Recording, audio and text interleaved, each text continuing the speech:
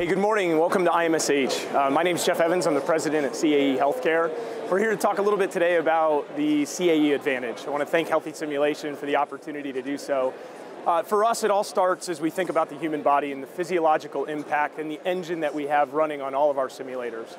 As you can see, the physiological engine is embedded in our Maestro platform. It does everything that we need it to do to really take feedback as you think about the equipment and you think about the medicine that is actually provided in a simulation scenario. That reduces the subjectivity of what happens during a scenario and continues to give capacity back to educators on a regular basis.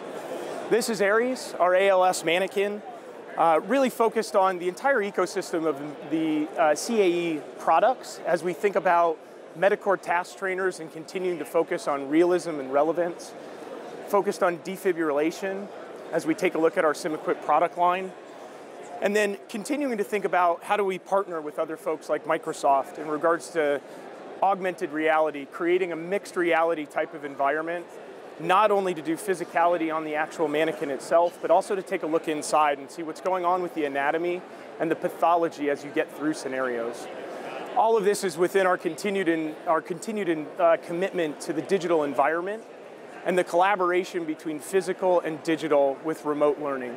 As you can see up here, our Maestro Evolve platform that creates uh, both self-directed learning as well as instructed-led learning in a remote environment. Everything that you see here today from a physical perspective is embedded into the software platform, giving learners the ability to learn from anywhere. Our thought process as we continue to think about the continuum of a learner's journey is truly focused on the individual data points that it creates through a learner's journey, really focused on learning efficacy and adaptive learning. If we could take all of those data points as you get into individual scenarios and simulation environments in the physical perspective, as well as in the remote environment, we can ingest those data points, we can overlay artificial intelligence, we can gain insights that truly focus on the outcomes that really matter to learners, accelerating learner journeys, and giving capacity back to education. That will help prepare folks truly in the moments that matter.